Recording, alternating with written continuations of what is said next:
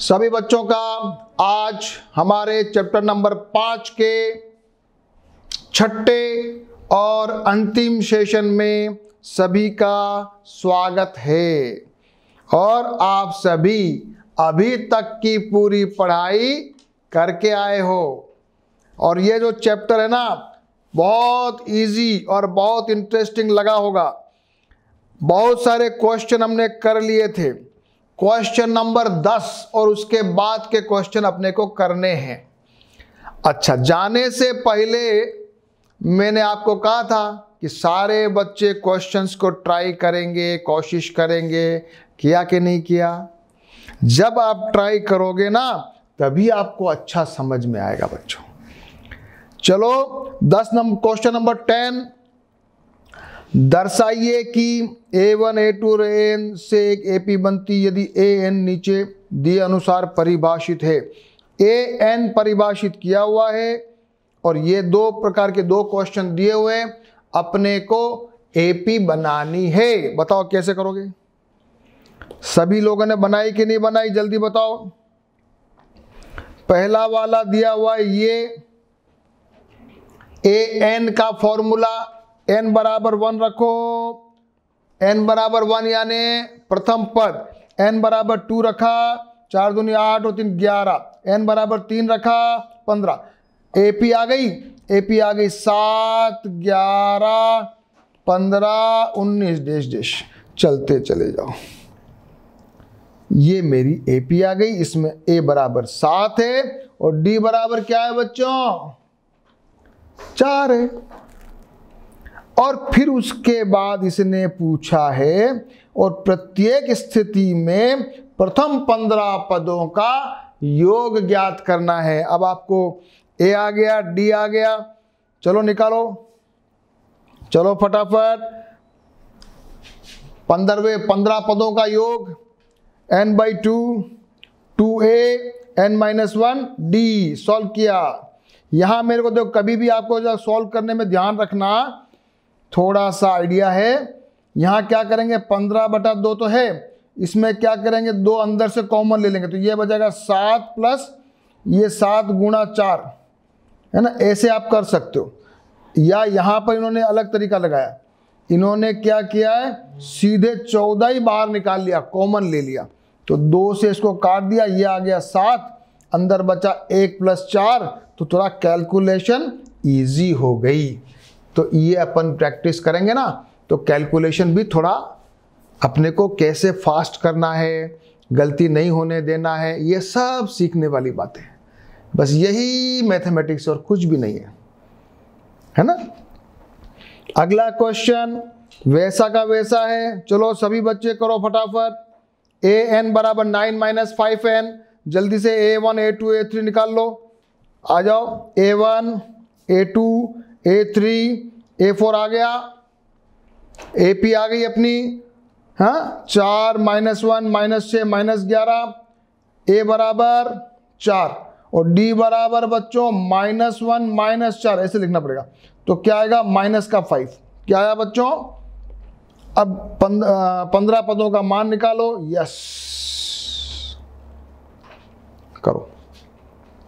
यहाँ मैंने देखो टू, ये इसमें से टू कॉमन ले लिया, ये टू आ गया, अंदर से ये चार रह गया, और ये ये चौदह की जगह सात रह गया, दो से दो कट गया तो अंदर वाली संख्या मेरे लिए इजी हो गई थोड़ी कैलकुलेशन है ना? ये नीचे वाला दो भी कट गया, और इजी हो गई कैलकुलेशन तो एस पंद्रह आ गया मेरे पास, क्या आ गया? माइनस चार सौ पैंसठ. क्वेश्चन नंबर दस.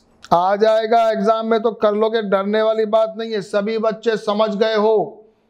तो एक बार इसको अपनी रफ कॉपी में करके साइमल्टेनियसली वीडियो पोस्ट करते जाएँ और आप इसको अपनी फेयर कॉपी में लिखते जाएँ। क्वेश्चन नंबर 11 यदि किसी एपी के प्रथम एन पदों का योग दिया हुआ है तो इसका प्रथम पद क्या होगा?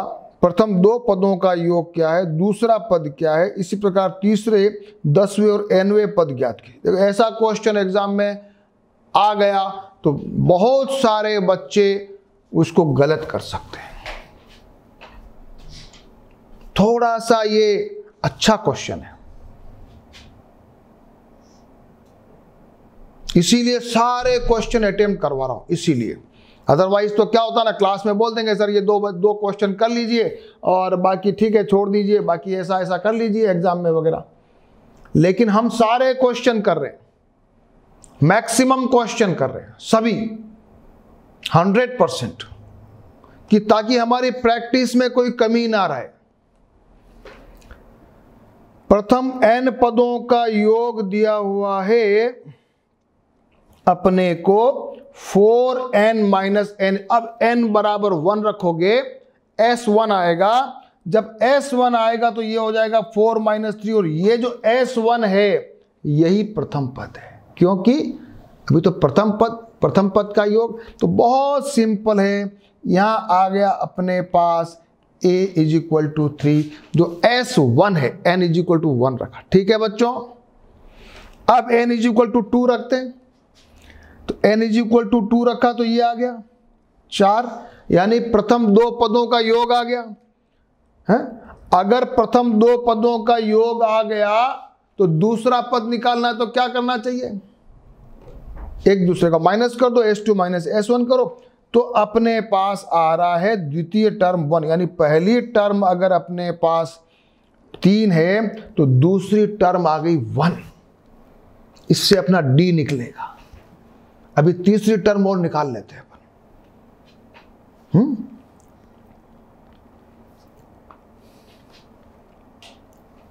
यहीं से अभी चलो केवल इसी से डी निकाल दिया। वन माइनस थ्री है ना? वन सेकेंड टर्म में माइनस थ्री फ़र्स्ट टर्म में। तो one minus three minus two मेरा आ गया डी बताओ बच्चों, क्या था ए ए क्या था बच्चों, बताओ। ए बराबर थ्री डी बराबर क्या आ गया? माइनस का टू।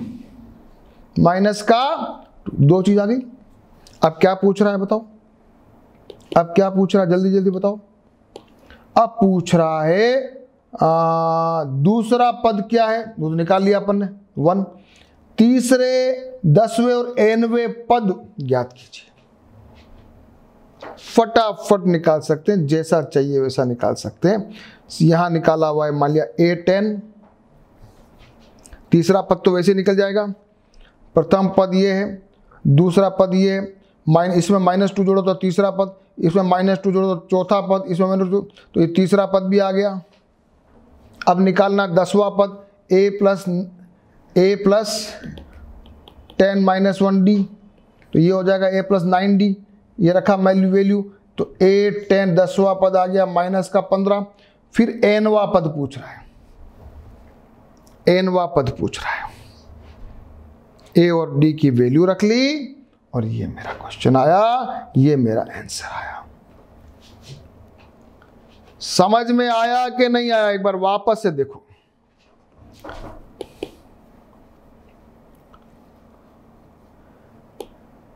ये हमको दिया हुआ था S1 निकाला, यही S1 जो है वो A है।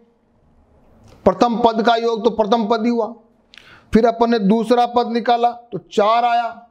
दूसरे पद को प्रथम पद से घटा, ये योग है। दूसरे पद तक का योग है है ना? उसको उसको अगर पहले से घटाया तो सेकंड वाला पद आया कि नहीं आया? ये एस टू है सेकंड पद नहीं है एस टू है। प्रथम दो पदों का योग है तो ये, इसमें अपन ने निकाला तो अपना ये आ गया वन फिर अपन ने डी जब ये वन आ गया तो वन माइनस थ्री का डी निकाल लिया। जब डी अपने पास आ गया तो अपन सीरीज़ बना सकते हैं। बना ली। दसवां पद निकाल लिया और एनवा पद भी निकाल लिया। अगर एग्ज़ाम में आएगा तो गलती नहीं होनी चाहिए और जिसको समझ में अभी आ गया, एक बार वापस से इसको समझ के बिना उसको वीडियो पॉज करके सारा पूरा वापस से रीराइट कीजिए। और जब अभी प्रश्नावली खत्म हो जाए तब इन प्रश्नों को फेयर कॉपी में आपको प्रॉपर तरीके से नोट डाउन करना है। क्वेश्चन नंबर बारह आ जाइए। ए से प्रथम चालीस धन पूर्णांकों के योग ज्ञात कीजिए जो छह से विभाज्य हैं। बोलो। ऐसे क्वेश्चन आएगा, क्या करोगे? छ बारह, अठारह है? छः चौक चौबीस, ए से चालीस पद। कितना एन दे रखा है? चालीस। एन दे रखा है? चालीस। ए दे रखा है, बच्चों बताओ, ए बराबर क्या आया? छ और डी बराबर भी छ अब अपने को क्या निकालना है? योग ज्ञात करना। निकाल लो। इजी क्वेश्चन एग्ज़ाम में आएगा तो कर लोगे। अभी सब एक बार बिना देखे करोगे। Yes very good very good करिए सॉल्व प्रथम 40 पदों का योग जो 6 से विभाज्य है, ये मेरी सीरीज़ है। बारह सब सॉल्व करो फटाफट। उत्तर आना चाहिए 4920 क्वेश्चन नंबर 12 मैं बहुत धीरे धीरे और बहुत समझाते हुए आपको चल रहा हूँ।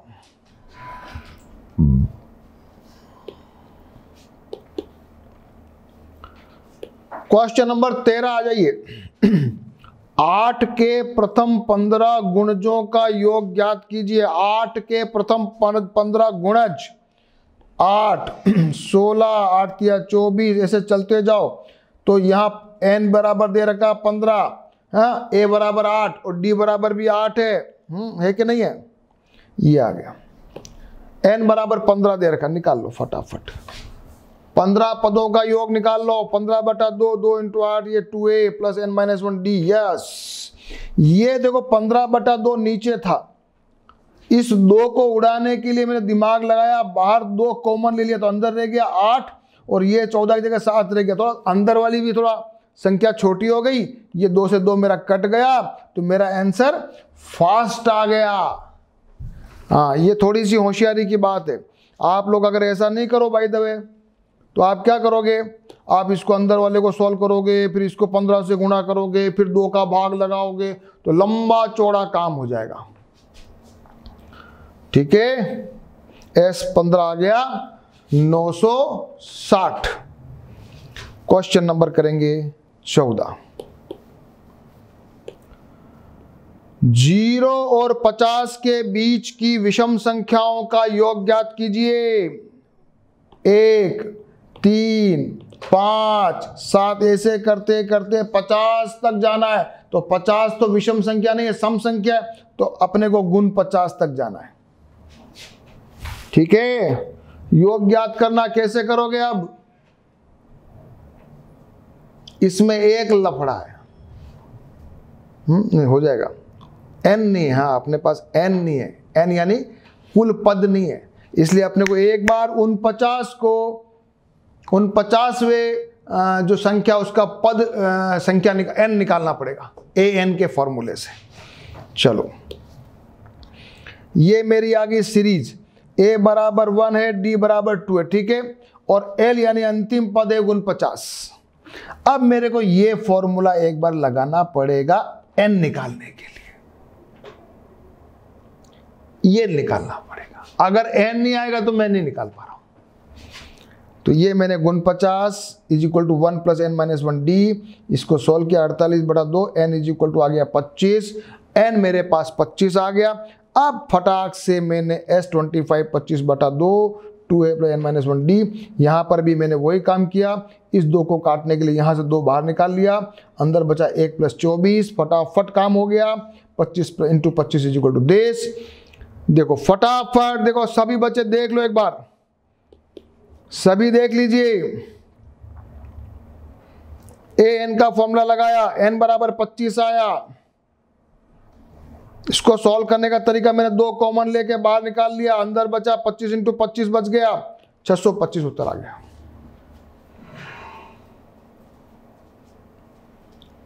ठीक है? क्वेश्चन नंबर करेंगे पंद्रह। अब थोड़े अलग लैंग्वेज वाले क्वेश्चन अभी तक तो सिंगल लाइन क्वेश्चन अब समझना भी पड़ेगा।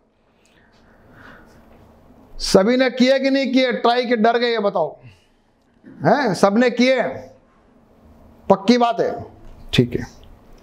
निर्माण कार्य से संबंधित किस, संबंधित किसी ठेके में एक निश्चित तिथि के बाद कार्य को विलंब से पूरा करने के लिए जुर्माना लगने का प्रावधान इस प्रकार है।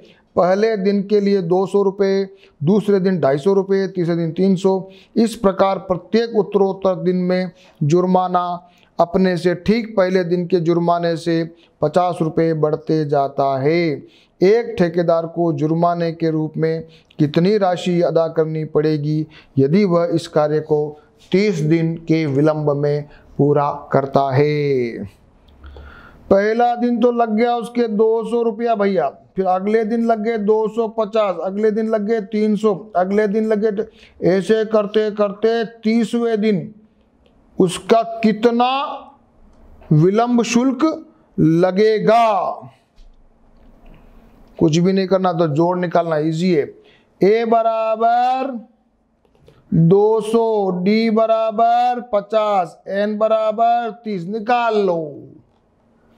इजी क्वेश्चन कोई डरने वाली बात नहीं है ना? सबसे पहले अपन ने बना ली सीरीज़। ए बराबर दिस डी बराबर दिस एन बराबर दिस रखा फॉर्मूले में, इसको काट दिया, ये हो गया पंद्रह, अंदर में चार सौ प्लस चौदह सौ पचास, पंद्रह इंटू अट्ठारह सौ पचास, सत्ताईस हज़ार रुपए का उसको क्या लग गया? जुर्माना। तीस दिन लेट हो गया था, इसलिए फॉर्मूला समझ में आ गया।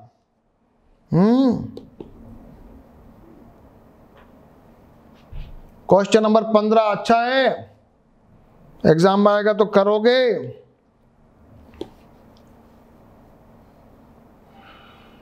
क्वेश्चन नंबर आ जाइए सोलह।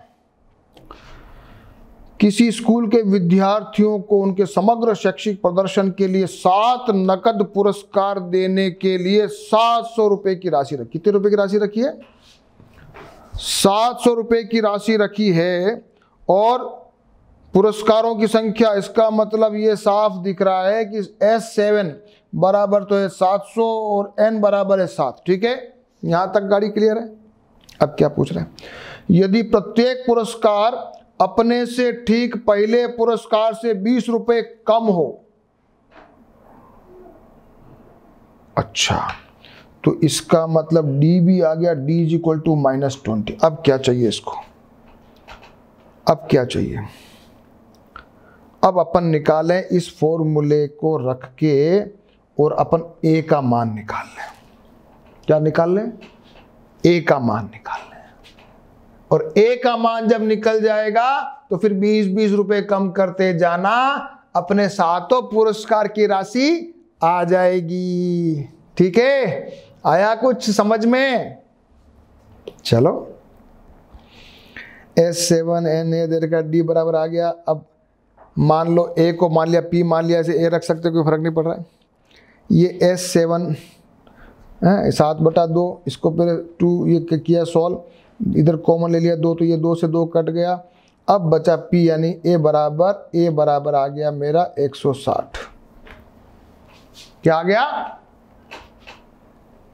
160 आ गया तो पहला पुरस्कार, दूसरा, तीसरा, चौथा, पांचवा, छठा और सातवां पुरस्कार की राशि आ गई कि नहीं आई? नहीं आई क्या आई? इसको ए बराबर पी मानो तो भी चलेगा, नहीं मानो तो भी चलेगा, कोई फ़र्क नहीं पड़ता। बच्चों कंफ्यूज नहीं होना है। इसको ए भी रख सकते हो। पी मैंने रख दिया प्राइस के हिसाब से, है ना? प्रथम पुरस्कार अपन ने निकाल लिया, फिर बीस बीस रुपए कम करते जाओ। वेरी सिंपल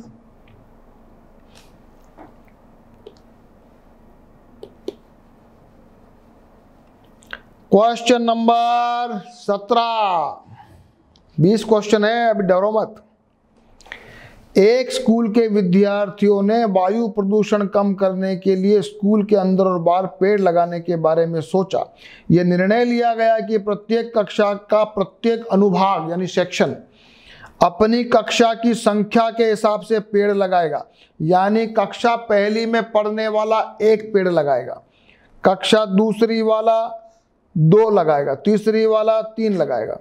और ट्वेल्थ वाले बच्चे ट्वेल्थ बारह पेड़ लगाएँगे। और हर कक्षा के तीन तीन सेक्शन है। पहली वाला एक पेड़, दूसरी वाला दो पेड़ और एक क्लास के तीन तीन सेक्शन है। कुल कितने पेड़ लगेंगे? हम्म? ये मेरी क्लास है वन, टू, थ्री, फोर, बारह तक, है ना? ए बराबर वन डी बराबर वन और एन बराबर बारह। ठीक है? अब एक एक क्लास मान लिया, एक एक लगाती है तो एस बारह तक का योग सिंपल बारह बटा दो two a plus n minus one d इठ्योत्तर मेरा।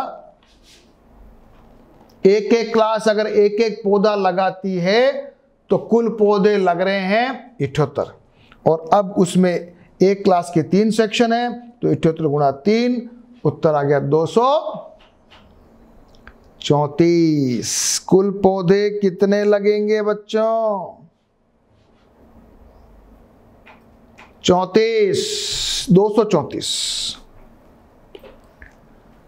क्वेश्चन नंबर अठारह।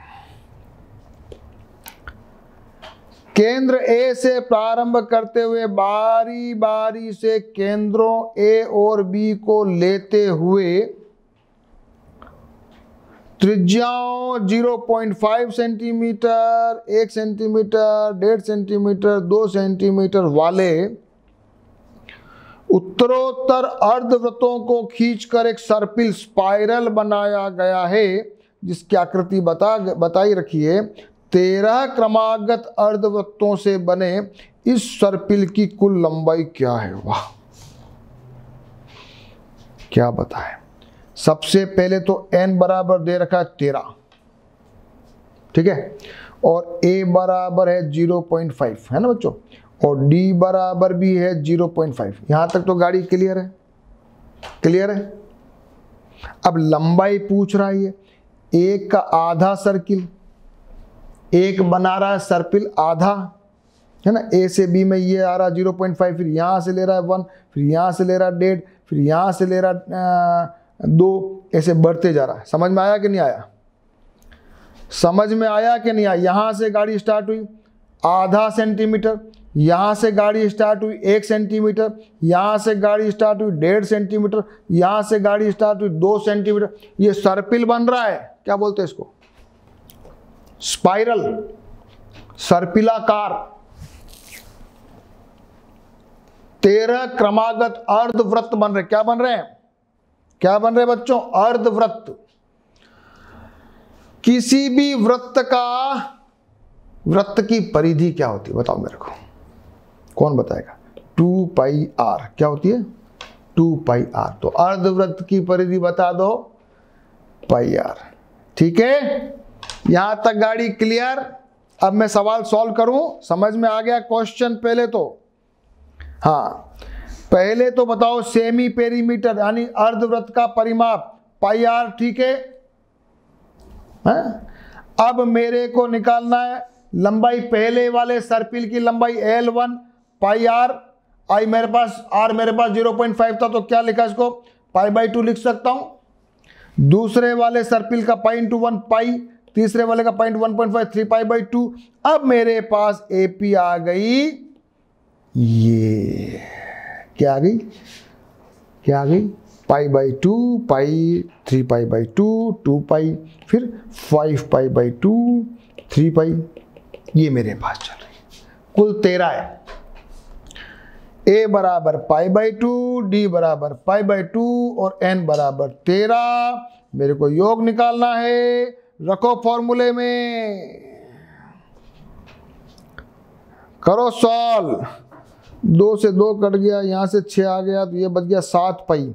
तो तेरह इंटू सात पाई बाई टू तो ये आ गया इक्यानवे पाई बाई टू। तो इक्यानवे बाई टाइप टू और बाईस बटा सात पाई की वैल्यू रखी, काटो इसको। तो मेरा आ गया एक सौ तैयलीस सेंटीमीटर, ये मेरा आ गया इसका 113 सेंटीमीटर। ये आ गया। एक सौ तैयलीस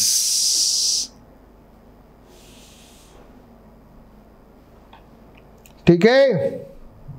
कुछ मज़ा आया कि नहीं आया बताओ? इसमें तो मज़ा आया होगा। इसमें मज़ा आया कि नहीं आया पहले बताओ मेरे को।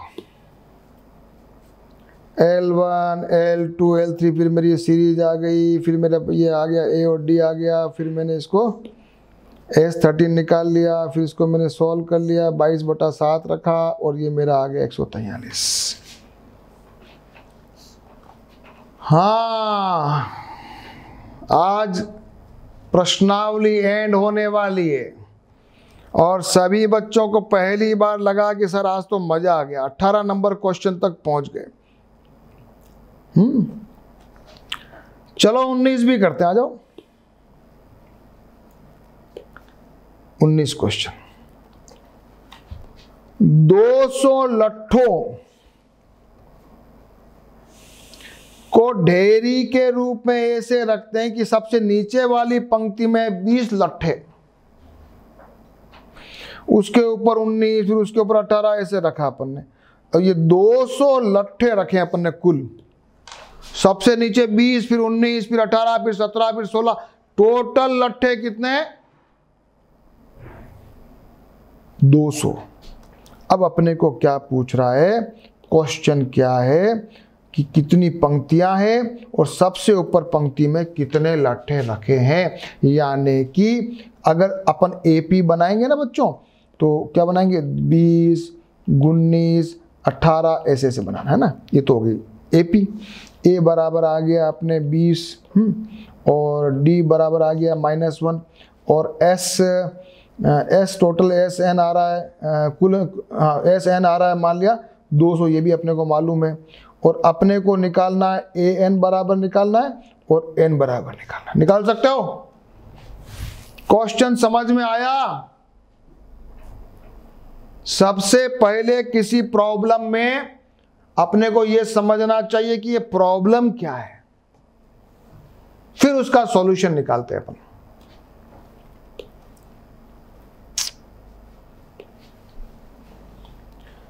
यहाँ पर मेरा ए बराबर बीस डी बराबर minus one S n this, मुझे निकालना एन फॉर्मूले में रखा, इसको सॉल्व किया, ये एन स्क्वायर की इक्वेशन आई।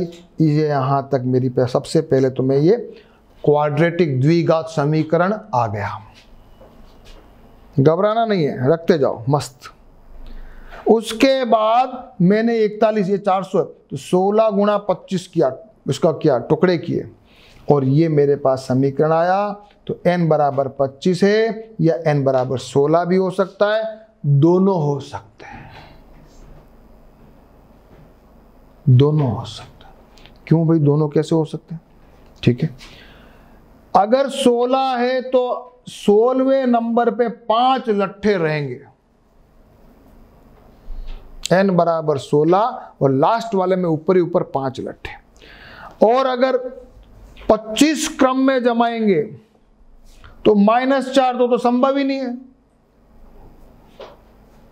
अगर 25 पंक्तियाँ बनाओगे तो लट्ठे ही नहीं आते तो। तो ये इसको हम नहीं मानेंगे हम कहेंगे कि ये नहीं माना जाएगा। क्या लिखोगे? ये संभव नहीं है। क्या लिखोगे? इसलिए लिखोगे उत्तर क्या है? कुल 16 पंक्तियाँ रहेगी। और सबसे ऊपर वाली में एन, ए सोलह है, पाँच। आया उत्तर। कोई कठिन लगा क्या? हम्म बताओ। किसी को कठिन लगा तो बताओ मेरे को।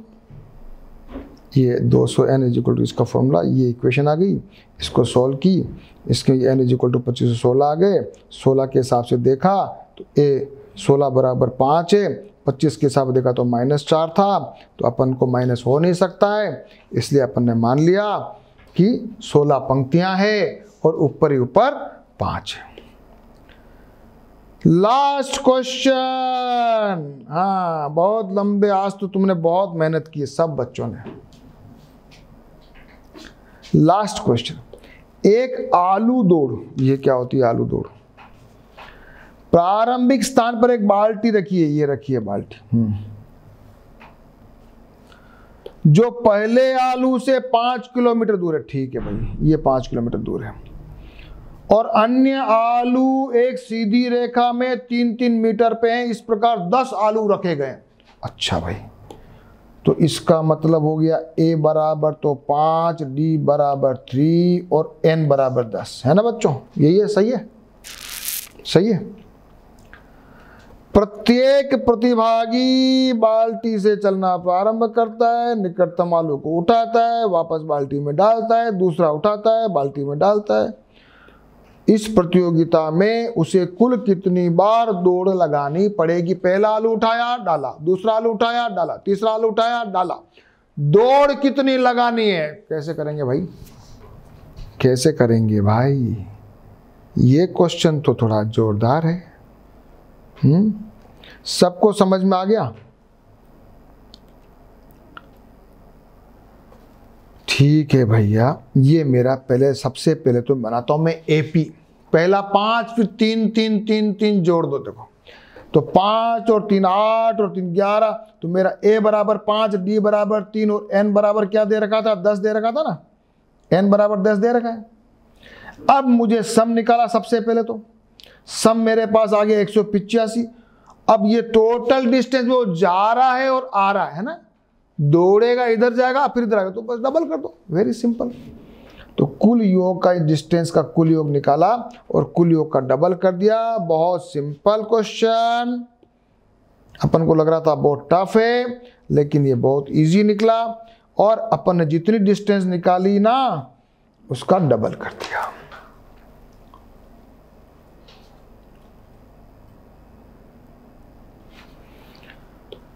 ये मेरी प्रश्नावली खत्म हो गई। आज हम लोगों ने प्रश्नावली 5.3 के सारे सवाल भी कर लिए और आज इस अर्थमेटिक प्रोग्रेशन समांतर श्रेणी का छठा और अंतिम सेशन था। सरल चैप्टर है, लेकिन इसमें सारे क्वेश्चन अपने को करने हैं। क्योंकि प्रैक्टिस बहुत काम की चीज़ है। गलती होनी ही नहीं चाहिए। सभी बच्चे सवालों को अपने आप करेंगे, दोबारा से करेंगे और अपनी अपनी फेयर कॉपी में करके एकदम परफेक्टली करेंगे। ओके, डियर स्टूडेंट्स, तैयारी करते रहिए। फिर मिलेंगे नेक्स्ट चैप्टर में। ओके।